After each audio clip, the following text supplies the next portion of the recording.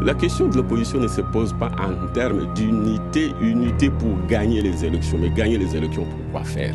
Est-ce que euh, votre euh, rupture claire, consommée avec Martin euh, Fayoulou, n'est pas la preuve quand même qu'il va y avoir de la concurrence face à Félix Tshisekedi Est-ce que vous considérez, lui, dans, son entourage, on pense que vous, vous, avez voulu rompu parce que vous voulez passer un deal avec, avec Félix Tshisekedi? Quelle est votre réponse Non, je veux passer un deal avec Tshisekedi. Tshisekedi est en train de faire ses alliances ou ses recrutements. Mais par contre, euh, M. Martin, lui, il est dans une alliance en perspective avec les anciens. M. Katumbi, c'est un ancien de l'Union sacrée. Il a élaboré euh, les lois ou les lois, euh, les lois électorales que nous contestons, que nous contestions avec Martin. Maintenant, il est avec lui. C'est pour combattre ce que Martin, plutôt, euh, Katumbi aura fait. Et les autres qui l'entourent, M. Matata, c'est un ancien. Est-ce que vous pensez que Félix Tshisekedi craint Paul Kagame? Ah bah, je ne sais pas le dire qui craint Paul Kagame, on ne sait pas qui c'est qui est important. Pour moi, Kagame n'existe pas. Ce n'est pas Kagame qui est devant nous. À, l'élection présidentielle, hein, elle est prévue le 20 décembre.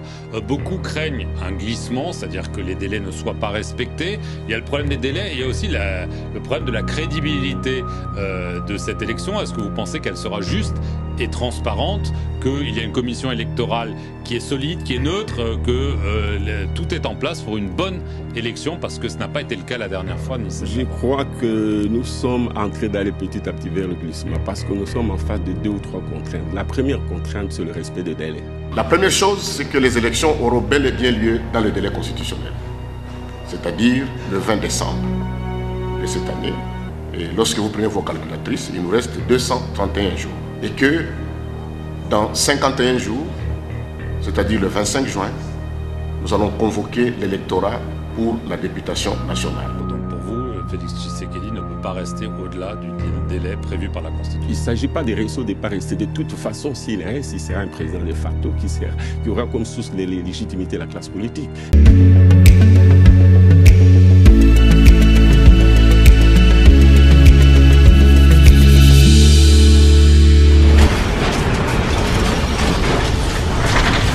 Ma mission TV, le miroir du monde.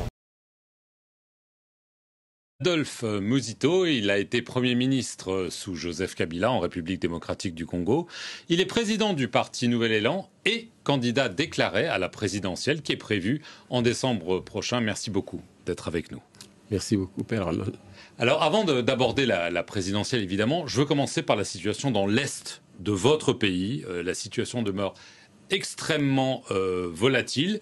Euh, vous avez une préconisation, euh, j'allais dire, radicale. Vous estimez que plutôt que négocier avec Paul Kagame, le président du Rwanda, il faut faire la guerre au Rwanda. Est-ce que c'est ça que vous proposez à vos concitoyens? Voilà ce que je propose effectivement à nos citoyens, à mes compatriotes, hein. parce que le Rwanda comprend que le langage de la force, le langage du feu, il faut se préparer à faire la guerre au Rwanda. Et parallèlement, il faut négocier et discuter avec les patrons du Rwanda, les multinationales, les États puissants, nos amis occidentaux, pour qu'ensemble, on, commence à réfléchir sur la possibilité de la mise en valeur du Congo d'une manière générale, mais particulièrement dans cette partie est de la République qui regorge beaucoup de ressources qui font l'objet de convoitises.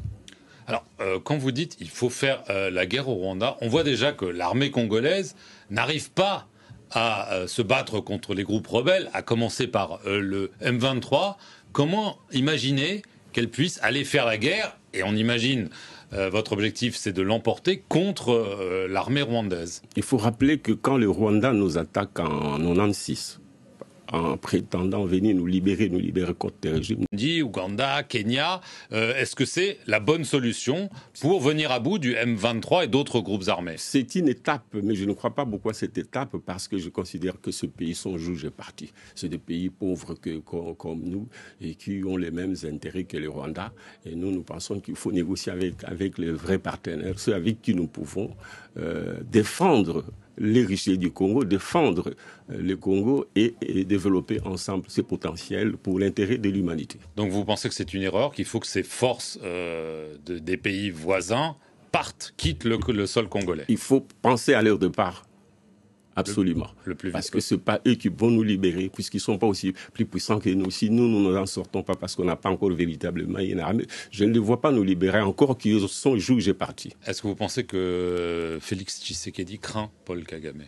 Ah bah, je ne sais pas le dire qui craint pour Kagame, je ne sais pas qui c'est qui est important. Pour moi, Kagame n'existe pas. Ce n'est pas Kagame qui est devant nous. Même si en même temps, je sais que le Rwanda a un problème des terres. Hein.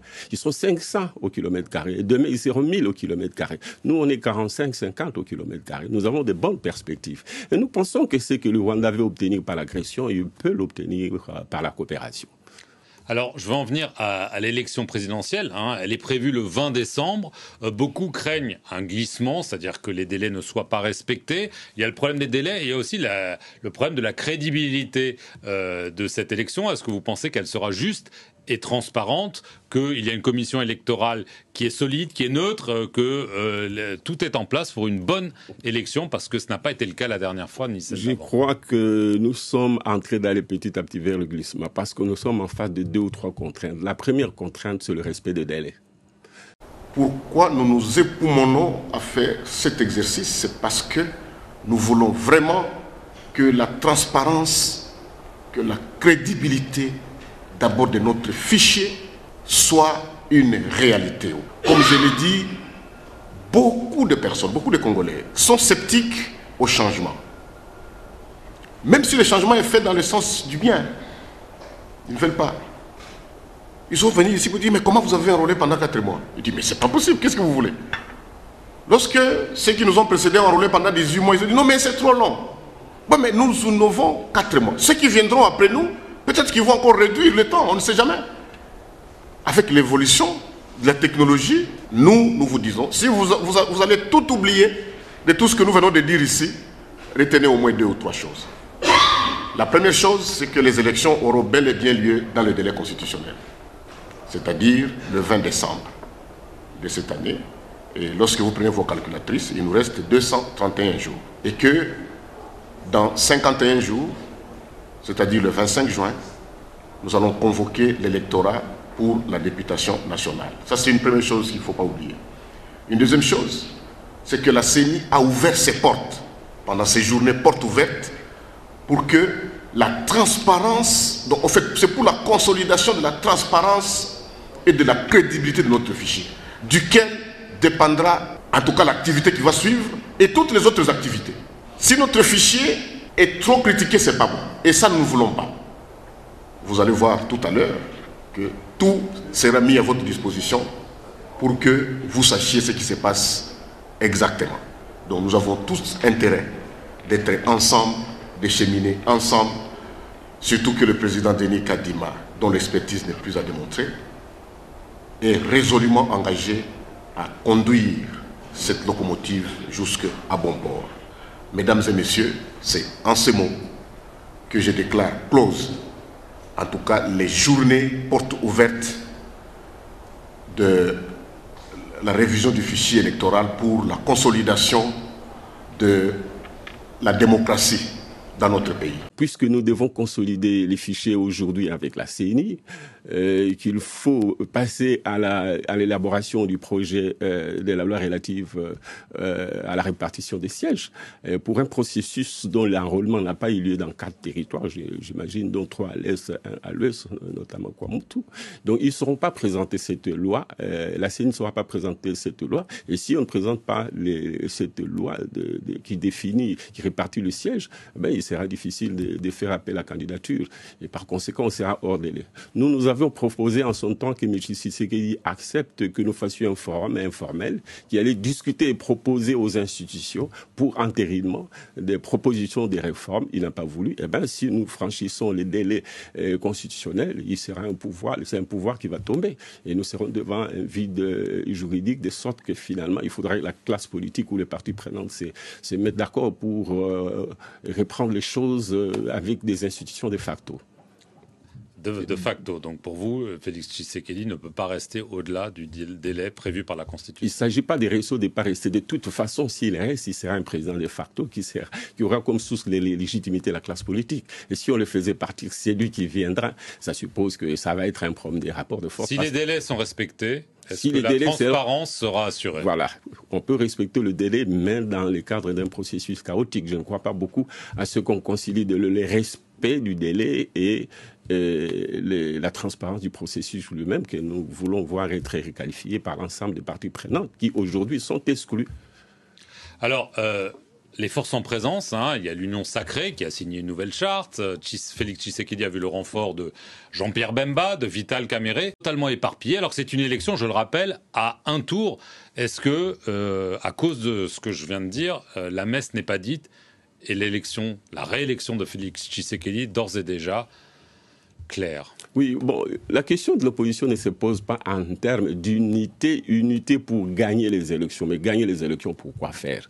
Moi, je crois que la force d'opposition doit être constituée par l'unité de l'opposition autour d'un programme alternatif qui permette un candidat, mais qui est porteur d'un programme issu du consensus, des rapports de force ou des échanges ou d'un débat entre acteurs de l'opposition.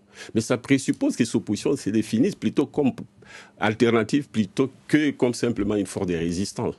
Dans notre pays, on a toujours considérer l'opposition comme étant une force de résistance et qui tire sa légitimité dans la protestation, euh, dans la contestation, plutôt que dans la proposition d'un programme alternatif pour changer le Congo. Est-ce que euh, votre euh, rupture claire, consommée avec Martin Fayoulou, n'est pas la preuve quand même qu'il va y avoir de la concurrence face à Félix Tshisekedi.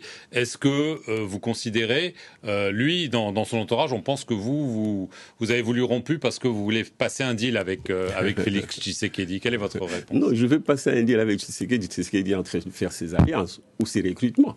Mais par contre, euh, M. Martin, lui, il est dans une alliance en perspective avec les anciens M. Katumbi, c'est un ancien de l'Union sacrée. Il a élaboré euh, les lois ou lois électorales que nous contestons, que nous contestions avec Martin. Maintenant, il est avec lui. C'est pour combattre ce que Martin, plutôt, euh, euh, Katumbi aura fait. Et les autres qui l'entourent, M. Matata, c'est un ancien. Il